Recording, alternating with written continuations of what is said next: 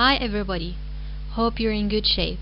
Well, in today's lesson you learn about modal verbs, how to use them properly, and how to avoid mistakes while using these special helping verbs. Modal verbs are auxiliary verbs, just like be, do, and have, because they work together with the main verb. And modal verbs are can, could, shall, should, may, might, will, would, must, have to, ought to, and need. There are three rules you have to follow to use those modals effectively. First of all, make sure to use modal verbs as they are. That means don't change them in the tenses, the present, the past, or the future. For example, we say, he can swim, not he can swim or she can swim. The second rule is that you always have a modal verb with the main verb and the main verb that follows is always in the bare infinitive form without to, such as I could go, not I could to go, or she would like, not she would to like. And the last rule is that modal verbs are auxiliary verbs, as I mentioned before. That means you make negative by adding not after the modal. Don't add any extra words like don't, doesn't, aren't, isn't, or won't. Use just not. For example, can, can't, should, shouldn't, would, wouldn't, and so on. But there is only one exception with the modal verb have to. And here we can say you don't have to do this. Actually, modal verbs can express many basic concepts in any situation. They are used to express obligation, to give advice, to talk about possibility and probability, or to ask for permission, and more. Now let's look at the functions of each modal verb, and we start with the modal verb can. Can expresses two functions. The first one is the ability. For example, I can speak three languages or I can swim. And the second function is that can expresses permission or request. For example, can I go out? Can he enter the lab? Now we move to the next modal which is could.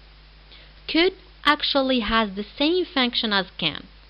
There is only a slight difference between the two is that can is in the present, but could is in the past. So, in the past, I could speak three languages.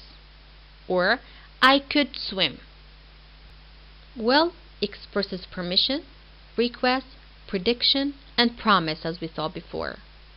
For example, Will you let me go out? Will you go out with me? I think it will rain tomorrow. Or, I will marry you when we express promise.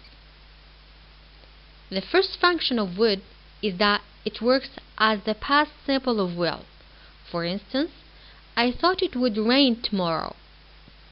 Secondly, would expresses invitation. For example, would you come to the party? Next, would is more polite than will. For instance, imagine you're in a restaurant and the waiter comes and asks you, What would you like to eat? Here, this would shows politeness. Shall is used to indicate future actions or suggestions.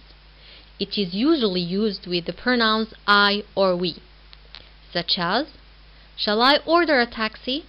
or Shall we begin the game now? While should is used for giving advice. For example, you should eat healthy food or you shouldn't stay late at night. Here, both examples indicate advice. May is used to express possibility or request. For instance, it may rain tomorrow, meaning that it, it is possible to rain tomorrow. For request, it works as the modal can. They are similar in this case. So we say, May I go out with my friends? Yes, you may for a positive answer, or no, you may not for a negative answer.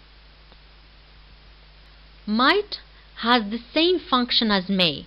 That means we can use it to talk about possibility or request. But there are two differences. The difference number one is that we can't use might for permission. For example, we don't say, might I go out with my friends? No, we cannot say it. The difference number two is that we consider might as the past simple of may, such as, he asked if he might go out with his friends. And as you can see here, this sentence is in the past simple. Now the modal verb must.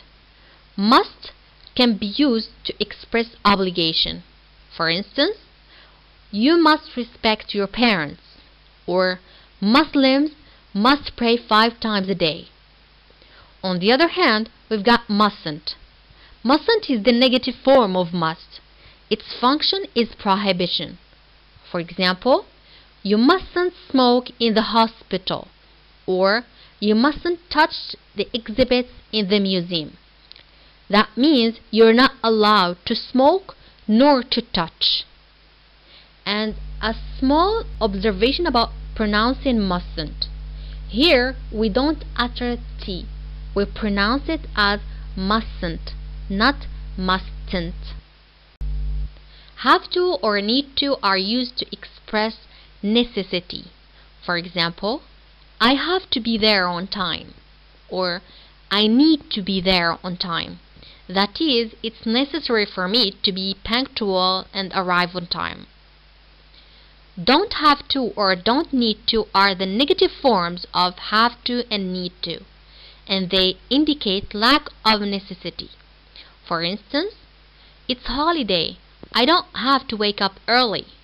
Or, it's sunny outside. You don't need to wear a jacket. Now guys, what you have to remember is that modal verbs don't have tenses. We don't say he cans or she mays. Next, we don't use to with modal verbs. We don't say he can to eat or it may to rain. And finally, we don't use don't, doesn't, aren't, isn't with modal verbs. We don't say he doesn't can drive. No. We automatically say he can't drive. Now let's practice. Fill in the gaps with the correct modal verbs from the list. Pause the video so that you can have time to do this exercise. When you're ready, click play again to check your answers.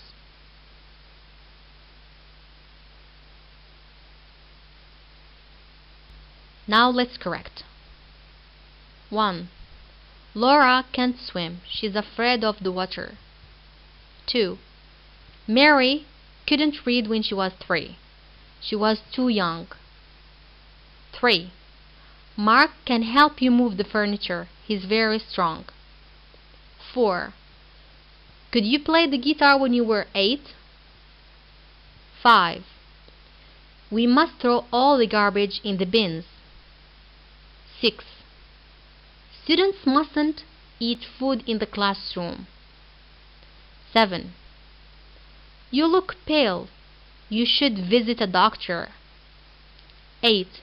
May I go to the park, Mom? And for more practice, you go to pages 62 and 63 in the student's book and page 31 in the workbook. That's it for today, guys. Good luck and see you in a new video.